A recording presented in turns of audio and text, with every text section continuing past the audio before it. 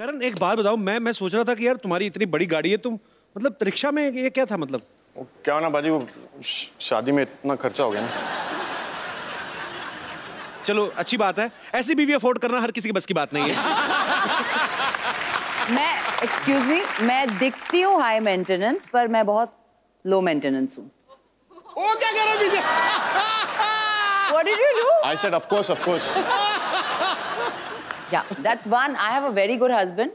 उस मेरे जब साथ रहता है तो एकदम हाँ में हाँ मिलाता है पर पीछे जाके पता नहीं क्या कर रहा आई है। एम स्ट्रेचिंग माय लेग्स रिक्शा चला Keep चला अच्छा इनकी लो मेंटेनेंस भी करोड़ों में होती है। चलिए आप आज आप आपसे ढेर सारी बातें करेंगे। विपाशा और करण से। आइए प्लीज़